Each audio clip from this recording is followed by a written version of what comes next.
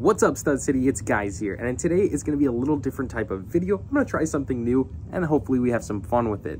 So if you guys are interested in that, we're going to be starting an AFOL series where I'm going to go over a series of topics and just kind of explain some things and just life as an AFOL.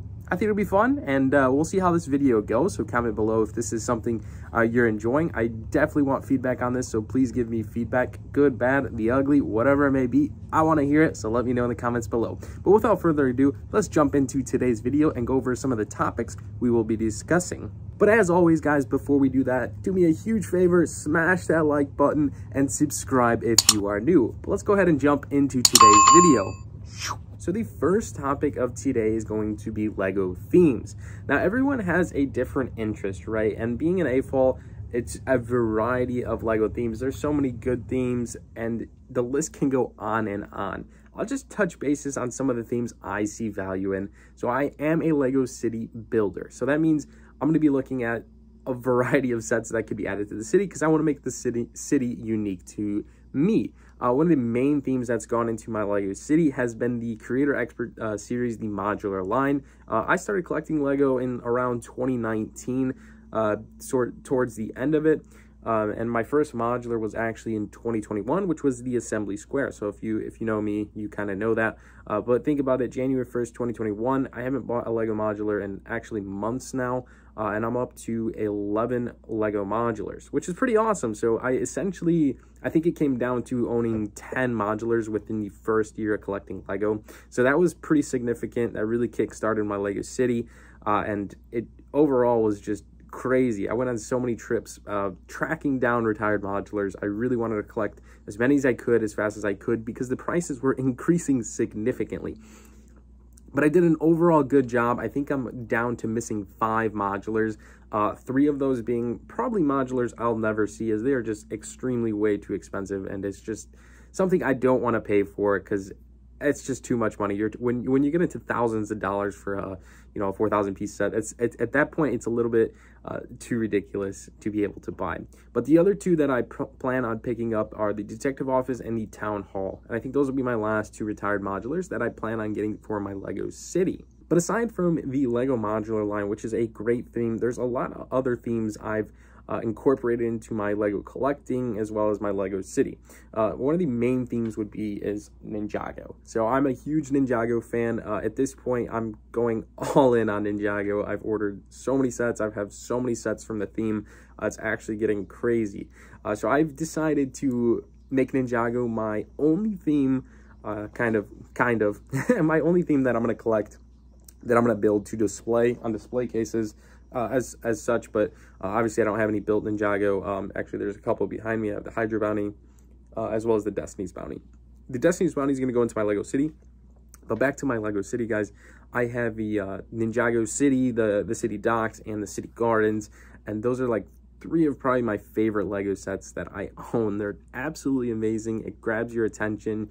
Uh, it's just something so different. And I think that makes my city pretty unique. Uh, not a lot of people like enjoy Ninjago. I personally do. I watch a show. I'm in a, you know, on Reddit, on fan base. I do. I discuss it. I have a lot of friends that enjoy uh, Ninjago. So that's another theme I would like to add to the list that I'm, you know, significant, significantly, you know, ecstatic about and just overall collector in that in that genre. But going forward, I also do collect a, a, a handful of speed champions. I've been not building the new ones, uh, the eight stud wide ones, because I find those uh, impossible to place in the city as they're just too big. Uh, but as far as the six stud wide ones, I collected from 2019 to uh, when they stopped doing it, which was like, I believe 2020. So I do basically have all of those lined up. Um, some of them are still unbuilt, but I have a bunch of the Porsches in my city, and I do have some old, old ones, I can, I believe they're 2018 or 2017, but an overall great theme, and uh, if you're a city builder, some of those, the six stud wide ones really, really come in handy. But one of the probably last themes I kind of have in my Lego collection are the brickheads. I think the brickheads are great. I actually don't build the brickheads. Georgiana, my girlfriend, builds a handful of them, but essentially I like to keep them in the box and have them displayed in my room. It's just a personal thing. Uh, I honestly don't plan on selling them or, you know, flipping them or whatever you may think. I, I sincerely love looking at the boxes and just having them uh, displayed in my room. I think it's awesome. Uh, it's not something I really share uh, with my YouTube channel just because it's in my room and kind of like in the personal room, whatever it may be. But I think it's really cool and something different. But I'll also incorporate this where I ask you some of your favorite LEGO themes uh, in the video, and you can comment that and make a list uh, in the comments below because I sincerely love reading it and seeing what other people enjoy. But I'm going to say those are like my top three or four themes uh, as of right now. I'm, I'm also going to uh, do a, a, LEGO ideas. I think um, that one is, it's, it's kind of hard to base upon just because um, there's so many different sets in the Lego Ideas, but some of my favorite sets are from Lego Ideas.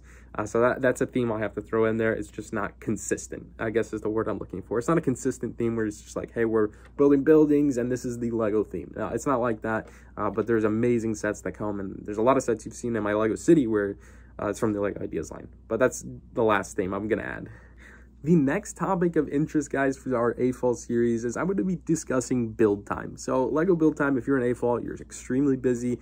I've jumped into this in my life, and it's very hard to find quality build time. Uh, it's a different story being a YouTuber or Instagrammer or TikToker or whatever it may be, social media platforms and building and doing live streams. But I'm just going to talk about actual build time and just strictly, you know, your personal time, uh, you know, whether you put it on social media or not just building and finding time for it. I find it's it's gotten challenging. It really has. Uh, you have to really plan ahead, and uh, you know it's definitely something to look forward to, and it definitely makes it brings you ease and kind of reduces your stress level. So I see why building is so significant to a lot of you AFOLs because it is such a relaxing uh, thing.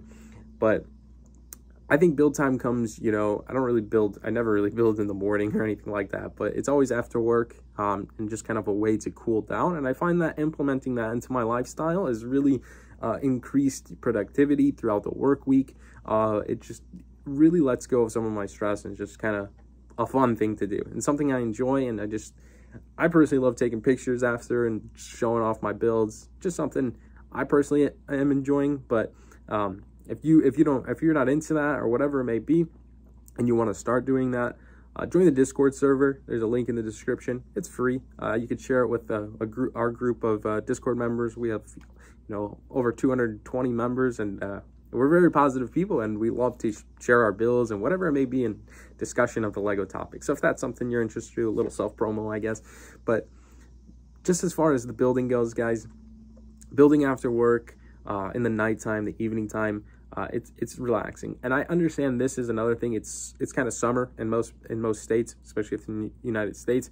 Um, especially being in the Midwest, it's been extremely hot for the past like month and a half. Uh, for me, it's been like 90 plus degrees every day, and it's just been uh, it's been daunting from the weather. But uh, winter is coming, not winter, but fall. Fall is coming, and it's going to be so much cooler out, and uh, you have some outside activities as well as chances to build Lego, and it's just a total different vibe in my opinion. Having like you know, just a, some coffee or whatever it may be, a cool drink, and just kind of chilling inside, building a Lego set. I think it's a great time, and I, I, I sincerely believe seasons affect your build style and whatever. If whatever, if you catch my drift there, I think it's I think it's something different, and uh, I think fall is a great time to build Lego, and it's it's pretty exciting. It's fun stuff. So I'm, I'm super forward looking forward to that. If uh, if you agree with me on a, a seasonal effect of building Lego, comment below because I'm actually curious. I feel like a lot of building comes in the winter time or maybe the fall or maybe even spring. Just depends. But i feel like summer is one of those dry months. Uh, you know three four months out of the year where it's just like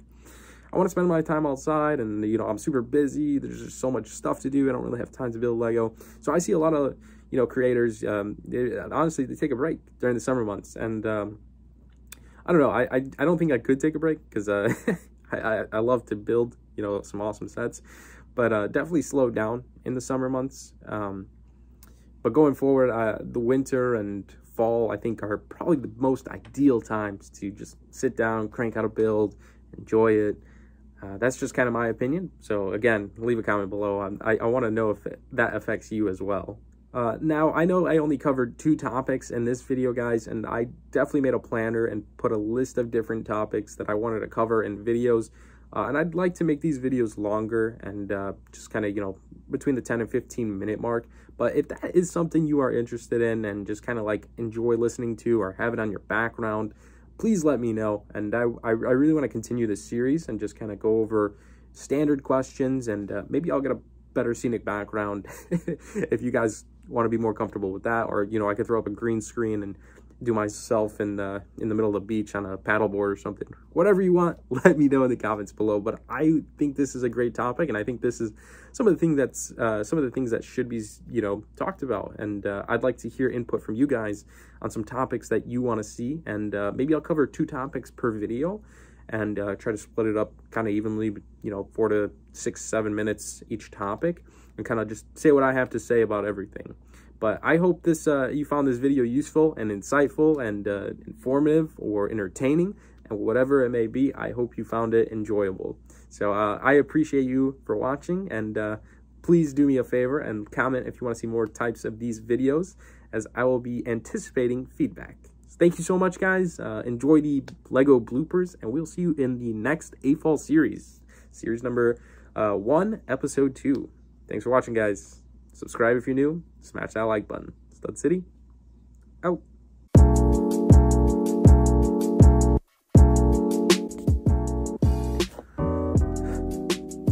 The next topic, scratch that. When I say I'm an Ninjago fan, and a Speed Champions fan, and a LEGO Ideas fan, I kind of mean it. I love these displays, guys. Also, a little hidden Destiny Bounty. Been working on that bad boy. Just kind of hidden in my workspace. Different type of video coming today. Woo, woo, woo, woo. Let's do this. AFOL series.